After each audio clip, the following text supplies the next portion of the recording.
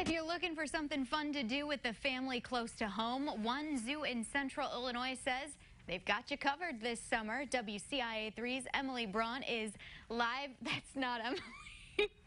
live indicator at Scovill Zoo to tell us more. I'm sorry, but I was expecting to see Emily there. Good morning, Emily.